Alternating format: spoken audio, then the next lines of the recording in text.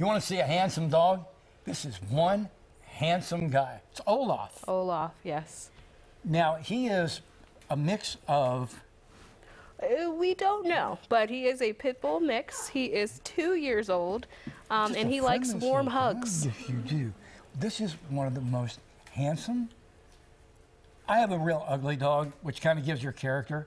Aw, Well, she's a Shih Tzu, has a, a underbite, crooked teeth, and a crooked nose. Mm-hmm. This is a 180 degree difference. this what what a beautiful. Well, Yeah. you can give him a home. That'd be a real cool thing. Two years old, and uh, still has kind of that puppy energy. Definitely. So you're gonna need a little bit of room, that's for sure.